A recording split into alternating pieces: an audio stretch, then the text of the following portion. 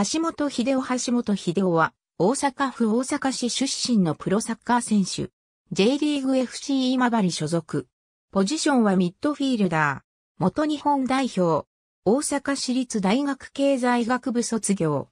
府内でも有数の進学校である大阪府立天王寺高等学校から大阪市立大学経済学部に進み、卒業している。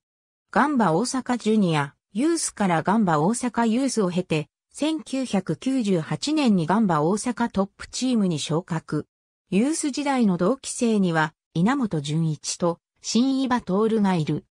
ただ、ユース在籍時からトップの公式戦に出ていた二人と違い、橋本は月給10万円の練習生契約で加入した。稲本がアーセナル FC に移籍した2001年頃から右ウィングバックやボランチとして徐々に出場機会を増やし、2005年にはレギュラーに定着して、クラブ初のリーグ優勝に貢献し、同年の日刊スポーツの評論家と担当記者によって選ばれるミスターガンバ黄金の足賞に選ばれた。2006年から G 大阪に加入した明神智和とは激しいポジション争いを演じたが、ダブルボランチとして共存することもあり、試合中にボランチから左サイドバックや右サイドハーフにポジションチェンジを行うことができる柔軟性を発揮し、その後も主軸として活躍。2007年には2月1日の日本代表候補、トレーニングキャンプメンバーに選ばれ、3月19日には正式に代表に選出された。6月1日のモンテネグロ戦で後半44分に鈴木啓太との交代で、かつてのチームメイトである宮本常康、稲本淳一が背負っていた背番号5で途中出場し、代表初出場を果たした。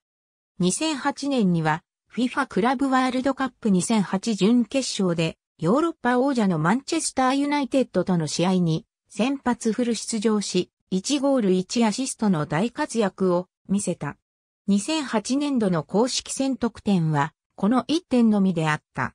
2010年 J1 でクラブ対記録となるリーグ戦6試合連続ゴールを記録するなど自己最多の8得点を決める活躍を見せた。なお、この連続ゴールで G 大阪の公式応援番組ガンバ TV 青と黒の年末特別企画ガンバ TV アウォーズでは選手とサポーターが選ぶベストプレー賞を受賞し、2度目の黄金の足賞を受賞した。2011年は2月のキャンプ中に右膝前十字靭帯損傷という重傷を負ったことでシーズン大半を棒に振り、8ヶ月後に復帰するも調子は安定せず、この年のリーグ戦出場はわずか4試合に止まった。そして同年限りでジュニアユース時代から20年を過ごした G 大阪を退団した。2012年ヴィッセル神戸へ完全一席。J1 開幕戦、古巣、G 大阪との対戦では勝ち越しゴールを決めた。この年は当初、左サイドハーフ、後にボランチとして出場機会を得たが、低調なパフォーマンスに終始しチームも J2 に降格した。2013年、神戸に残留し、自身初の J2 でのプレーとなった。ホーム開幕戦では終盤にセンターバックとして出場。